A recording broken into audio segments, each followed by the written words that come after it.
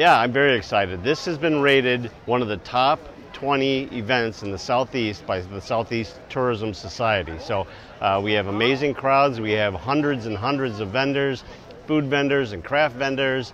Um, we have nonprofits out here. We have for-profits. We have businesses. We have people that work out of their garage in their at their house. Um, we have retired people. We have people working 60 hour a week and then going and doing this on the weekends. Um, it's just it's such a mishmash of people. And then you bring in 250 to 300,000 people every year, and it's just uh, it's an incredible event. You should I can you doesn't it just smell great? I mean, just the smells are something else. Uh, but uh, but yeah, you get uh, you know you have all the all different kinds of food vendors and craft vendors and everything else. It's just it's amazing. Uh, lots of good food, good donuts, uh, just all kind of good food to eat. Lots of crafts, great pottery, just whatever you, something for everybody. This is a, a community of less than 11,000 people, and we're able to bring in this kind of crowd into this small of a community. It's because of the effort that's put into it between our tourism and our government, and of course the Chamber of Commerce um, and our chairperson Jordan uh, Edwards. It tells the people all around us that look, anybody can do it. We've been doing it for, for, since 1966. We stretched it out a little bit, added a little bit more space in between booths. We went down uh, one of the roads here, Independence. We went down there, uh, opened that up a little bit further, and, and, we were so we were able to do that and still add more booths. We still got a tremendous waiting list of people that want to get in here, especially food people.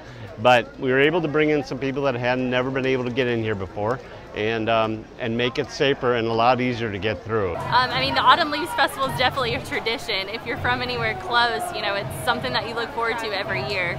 And now that they've added the Kids Fest, I love this. It's great for the visitors, but I think it's also a wonderful event for locals as well because you're not going to get down the street without running into 100 people that you know. Originally, even though it says Autumn Leaves Festival, it was originally set up to celebrate the end of the harvest season.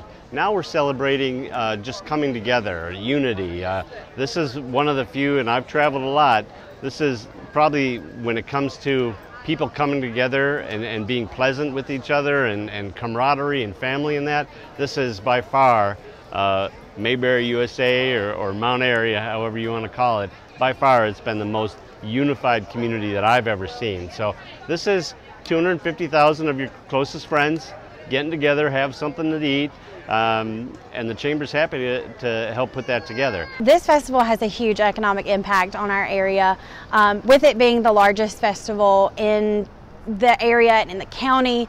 Um, not only are people spending money downtown, but these people are traveling to get here. They're buying gas in our towns. They're buying food, not just not just downtown during the festival, but they're also buying food at their local restaurants. They're staying in our hotels, our bed and breakfast. Um, so there's a lot of it brings a lot of money into our town and into the county. You know, we got a lot more things planned. Um, we have uh, uh, different food festivals and, and, that that we're working on putting together for uh, next year, probably in the in the spring. Um, so we're just getting going here, but something like this helps the chamber keep going. It adds uh, $10 million uh, was the last estimate that we saw into our local community to help all of our businesses and our communities and, and help the uh, local government do the things that they do here in town for us. So we're super excited the way things are going and we, uh, we expect that it's just going to get better and better every year.